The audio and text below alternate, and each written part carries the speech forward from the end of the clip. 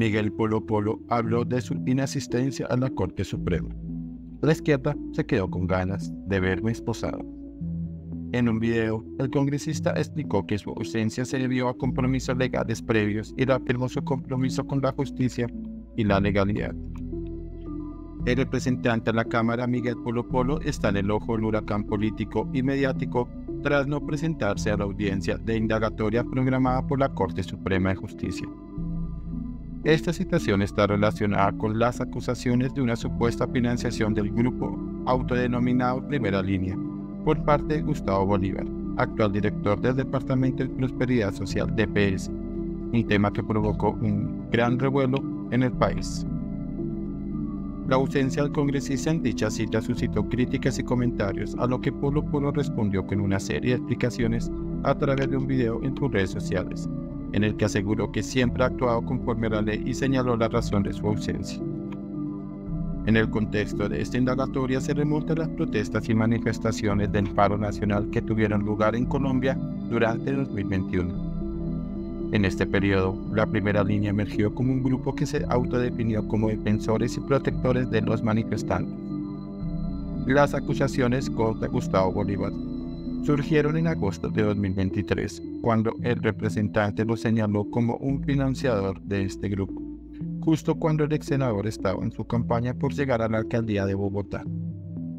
En respuesta a lo anterior y a su notoria ausencia en su citación, el senador compartió un video y un mensaje en el que indicó lo siguiente. La izquierda se quedó con ganas de verme esposado y llevado por la policía a la indagatoria por la corte.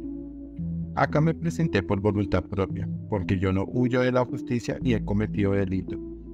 Siempre he caminado sobre la verticalidad y la legalidad. Gracias a mi abogado arroba Jonathan Peláez S por todo su apoyo.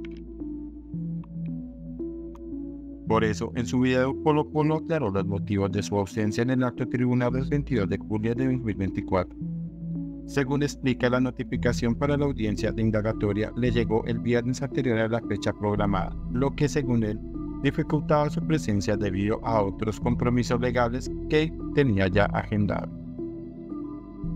El día viernes a nosotros nos citan para indagatoria hoy día lunes, pero al mismo tiempo tenemos una conciliación para el día viernes de esta semana, comentó Polo Polo. Ante esta situación, su abogado, Jonathan Peláez, envió una solicitud de aplazamiento a la Corte Suprema de Justicia y al magistrado encargado del caso, en la que se pedía posponer la indagatoria para poder atender ambos compromisos. Polo Polo también mencionó que la respuesta a su solicitud llegó el mismo lunes de la audiencia a las 9.30 de la mañana lo que le impedía reorganizar sus actividades a tiempo. A pesar de esta explicación, la Corte Suprema consideró su ausencia como un desacato y advirtió que la policía podría ser enviada a buscarlo si no se presentaba. En su video, el congresista reiteró su compromiso con la legalidad y afirmó que está dispuesto a colaborar con la justicia en todo momento. Yo soy una persona que siempre he caminado sobre la verticalidad y la legalidad y aquí estoy dando la cara a la justicia, aseveró. Según el congresista la Corte Suprema, finalmente aceptó la presencia virtual de su abogado, lo que permitió que se presentara más tarde de lo programado.